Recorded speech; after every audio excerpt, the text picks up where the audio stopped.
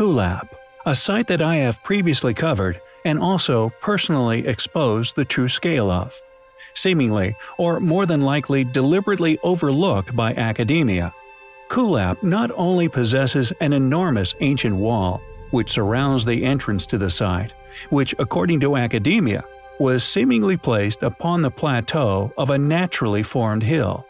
However, after personally investigating this site myself, I found that not only had the wall constructed took unimaginable effort to build, but that the site beyond this impenetrable fortress had in fact been backfilled with earth, artificially creating the plateau that geologists, academics, and archaeologists alike long ignored and merely assumed was selected due to natural features, were in fact artificially created.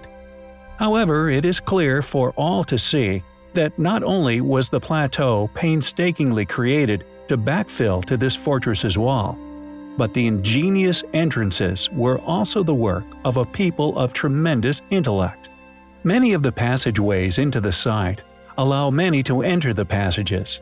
However, as the invaders made their way along these elevations to penetrate the fortress itself, not only were they wide open to arrow fire from above from both sides, but also by design, the passageways slowly narrowed to a point where only one person at a time could actually enter the site. However, the purpose of this video is not the astonishing architectural features of the site itself, but possibly an exposure of the true creators of the site. A group of people with characteristics which may come as a shock to some and been long predicted by others. Found deep within a cave system within the site, a burial chamber at the depth of 800 meters, a burial chamber created at this location for the sole purpose of preserving these individuals' remains for as long as possible, and also to avoid the ravages tomb raiders that have been experienced over the eons by many of the other burial sites by many different cultures.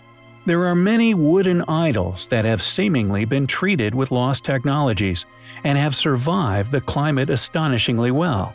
Yet, this set of mummies could expose once and for all who were responsible for this astonishing sight, and indeed its miraculous characteristics. Thankfully, although much of the ancient tombs had been ravaged by robbers over the years, this absence of mummies didn't deter archaeologist Warren Church who's worked for 19 years to save lost Pachutos and learn its secrets.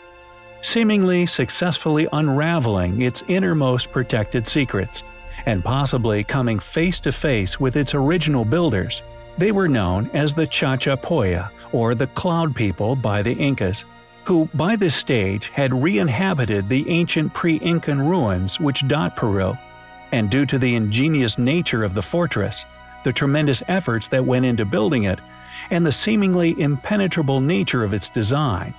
The Cloud People seemingly survived all the way up until the Spanish invasion, only succumbing to the introduction of smallpox, which the Spanish seemingly brought with them. An intriguing characteristic of these enigmatic people is the fact that they left no written language, yet adorned their site with countless stone carvings of orchids, butterflies, and jaguars. According to Warren Church, for more than 500 years, the Chachapoya cut farm terraces and villages into these steep slopes. This burial chamber, found deep within the site, shows that not only did they display great respect for their dead, but that they were of European origin, white-skinned and blonde-haired, with Church apparently stating that the mummies are of the most beautiful past people he has ever witnessed. Were these mummies the remains of the original builders of this astonishing site? Or were they like the Incas, merely re-inhabitations, although how they got there, to these Peruvian hills and controllers of Kuelap itself, remains a mystery. Yet white mummies of a seemingly European ancestry have been found throughout the globe. Does this suggest that the ruling force we so often postulate once existed? That many known as the Atlanteans shared their knowledge across the globe before catastrophe? regardless of their ethnicity. We find such research by Church highly admirable, and such discoveries highly compelling.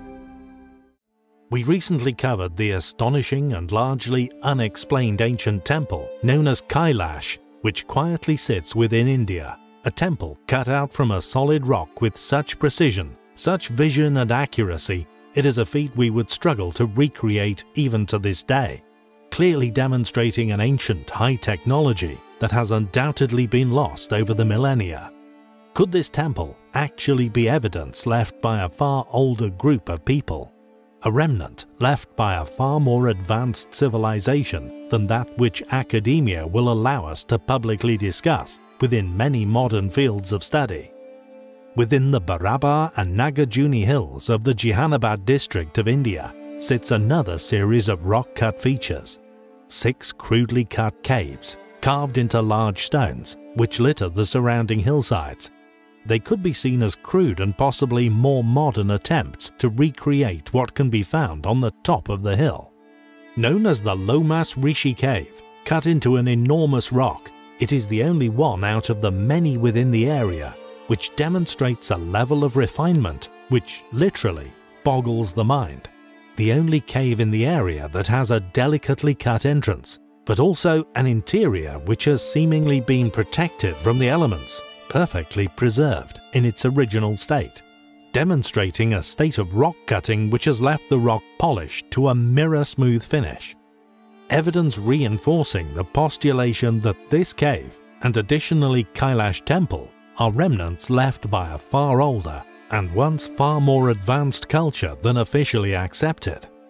The hut-style facade at the entrance to the cave is officially accepted as the earliest example of the ogee-shaped Chaitya arch or Chandrashala that was to be an important feature of Indian rock-cut architecture and sculptural decoration for centuries during its post-cataclysmic development. The example here is largely accepted as the specific influence for later examples, of which there are many at later Buddhist sites, such as Ajanta Caves and Karla Caves in Maharashtra. How, or indeed who, cut the Lomas Rishi cave? How did they achieve such an amazing finish to the stonework?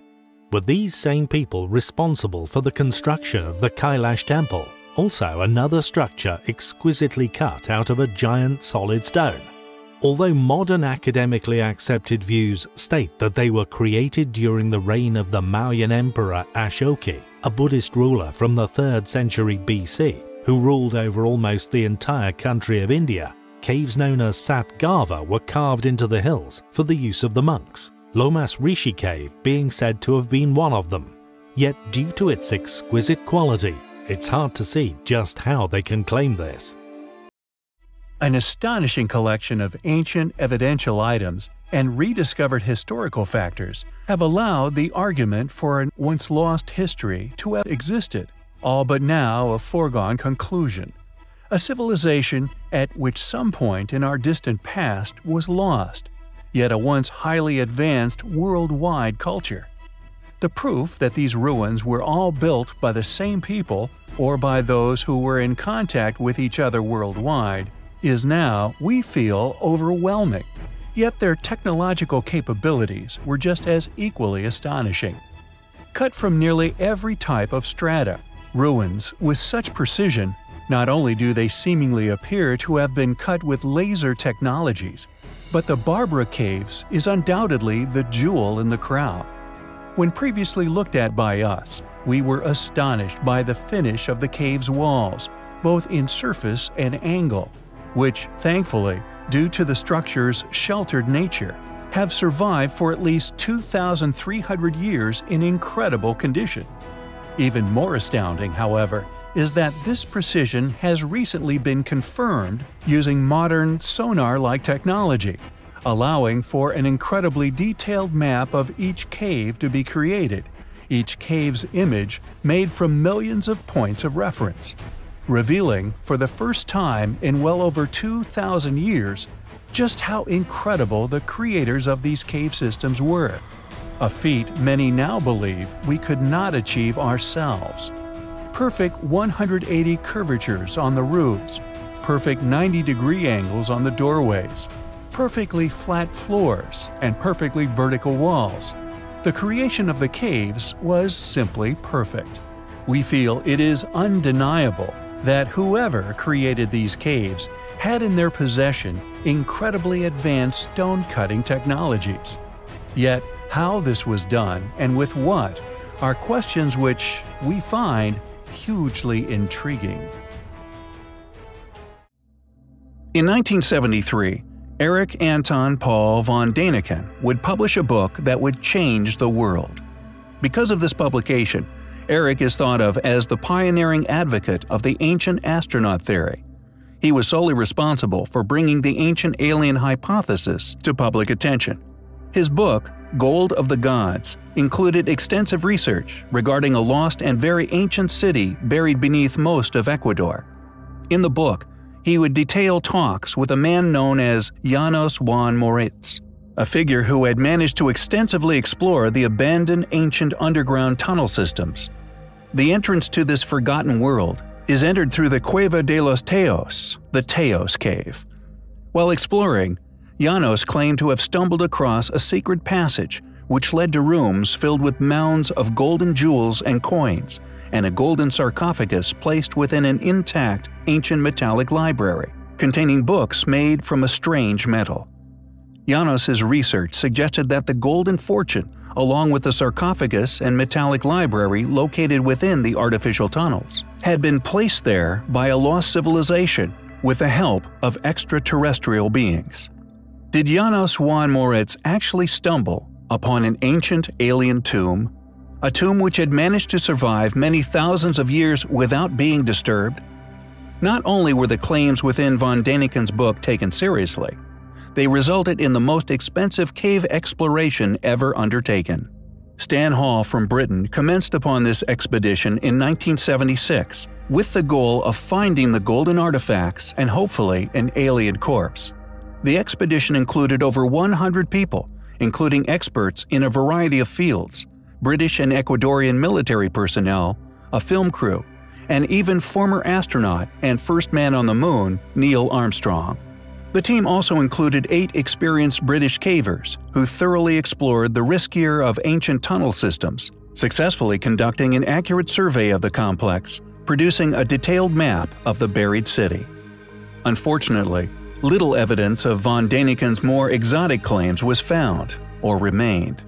It is always a possibility that funded tomb robbers made it there first.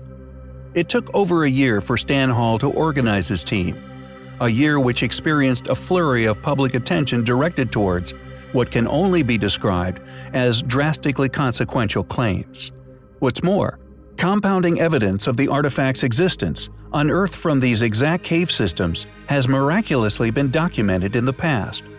Not only had some of these mythical items been recovered, the artifacts had been bought and collected by a man known as Father Crespi. Father Crespi is considered a saint by some, he was born in Milan, Italy in 1891 and died in 1982. He was a Salesian monk who dedicated his life to worship and charity. He actually lived in the small town of Cuenca in Ecuador for more than 50 years. He did not have much wealth, but what he did have, he used to help the less fortunate. He was an avid collector of what could now be classified as impossible artifacts. He would encourage those who needed money to bring him whatever items they could find within the jungles, and he would pay them for their troubles. Although some are crude forgeries, he still paid them for their efforts. Some, however, brought to him from within these cave systems collaborate the stories of Eric von Daniken. Not only did these particular artifacts collaborate the story, but they were often made from solid gold, exhibited language and visually illustrated culture of an as yet unknown but clearly highly developed ancient civilization. The collection also included several metallic books, inscribed with an exquisite unknown language. Upon Father Crespi's death, his collection was looted by unknown peoples. All artifacts of interest were replaced with obvious forgeries or simply stolen. Upon returning from their unsuccessful expedition, the lead researcher met with Janos Moricz's indigenous source who claimed that they had investigated the wrong cave. Had the source been paid for his silence? What is interesting is the fact that the team's efforts were not entirely fruitless. Characteristics of the cave systems they explored matched that of the descriptions given by von Daniken. What's more, they actually unearth zoological, botanical, and archaeological features, items which are unexplainable for the geographical location, unless it was visited by a group of people capable of traveling the seas far before Columbus. What do you think of the Teos Cave's legendary golden burial chamber? Was it all a hoax? Or did somebody get there first?